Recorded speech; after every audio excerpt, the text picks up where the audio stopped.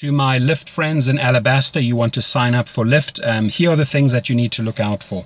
If people promise you super high sign up bonuses, that often is misleading. It's bait and switch, right? The the bonus is determined um, on the supply and demand of drivers in that city on that day. So every driver can only bring you the same bonus. There's not another person that can say, "Well, I'll give you a thousand dollars more." Not going to happen, right? So this is what drivers should be able to promise and do for you. They should show you how to get repeat business. They should show you how to get referrals. They should teach you everything about the business and help you through the sign up process. And they should at least show you how to make 20 to 30% more than the average driver. Otherwise, why just sign up with anyone? You know, you want to come out on top.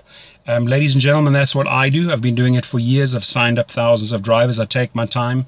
I address all their concerns, their questions, and I guide them through the entire process and I show them how to make the most money per week. So sign up right now.